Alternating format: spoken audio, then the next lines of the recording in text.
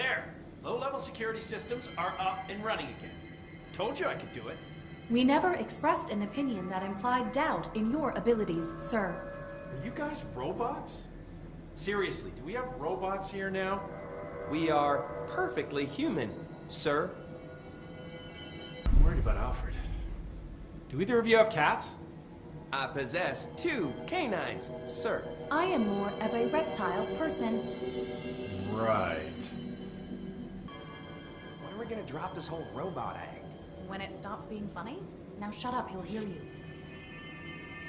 Sir, I am required to inform you that all records are property of the Bureau, not of any one individual. And I am required to inform you that the Astral Spike's origins may be a confidential matter and should not be inquired upon by low clearance personnel.